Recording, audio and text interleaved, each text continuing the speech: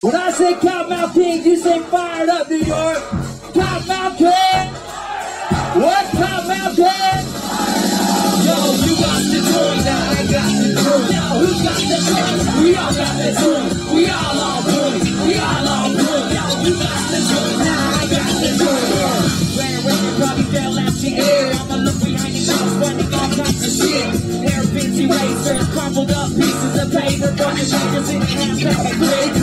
Could have slipped off my phone walking up the stairs, could still be camouflaged. Yeah, well, this is right when this is right when High Society had dropped. We came out here to play the uh, what was it called? The the uh, Stony Award. Stony Doobie Award. Yeah.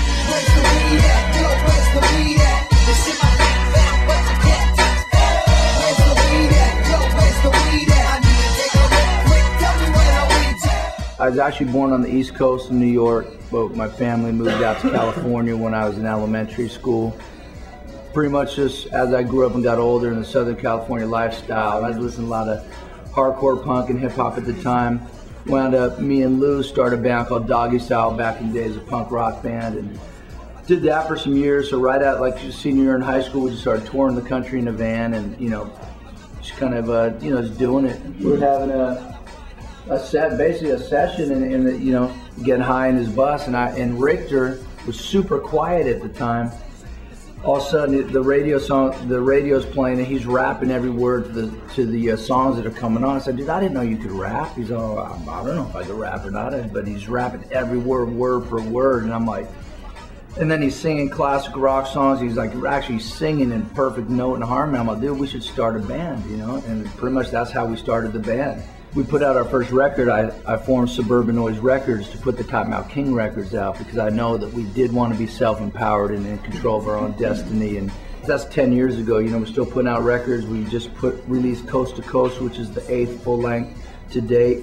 We've been touring the country, seeing the world for the last 10 years. It's been an amazing experience. And uh, every city we go in is, you know, sell out venues coast to coast and just people are committed to the cause, you know, personal freedom and questioning the world around them and trying to find, you know, find some answers that make sense to them. Maybe some of your favorite bands don't put out records once every three years or two, three, four years sometimes, but basically, Kottonmouth Kings puts out an album a year. It's a constant, growing, living, breathing thing, you know. And I think people, you know, we come to their cities sometimes two, three times a year. Kottonmouth Kings are in the city, so it's tangible, it's real. The people know it's real. The first time I can remember getting high, I don't know if it was actually the first time that I got high, was the first time I remember smoking weed. I was uh, in an apartment in uh, in Tustin, California, and there was a lightning storm, and it, it broke the generator out or the deal, so there was no lights, no candles. I was burning some chocolate thai. I don't know, a long time ago. I can't even tell you the date because I don't remember, but I remember the day. We were actually going to my sister, hanging out for the weekend. Went over there and it was kind of short and sweet. We went over my sister and got high at my sister and then having a pretty fun day. It was cool. It was my time getting high. I remember the first time I, was, I got high was uh, on a camping trip, and we uh, smoked herb that night around the fire, and I was high for. I woke up the next morning still high the next day. You know that first high you ever get, where you could actually hear the you know squirrels talking to each other in the trees and stuff. Had a barbecue with my sister's boyfriend. Probably like 12 years old. Smoked a joint. Didn't really do shit to me. Second or third time, I think I actually got high. Um, but yeah, the guy's like actually a cop now, so it's kind of funny.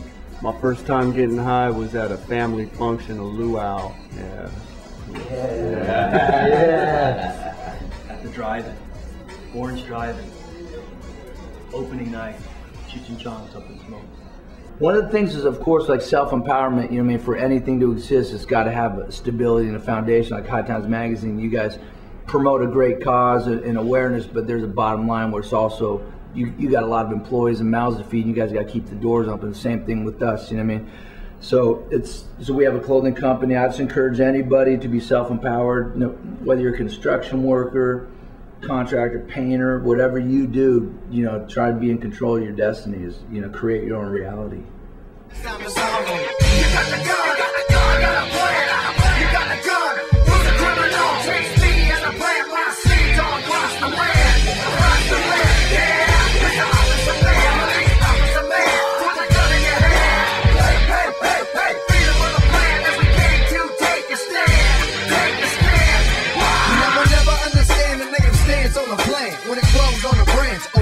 In your hand kills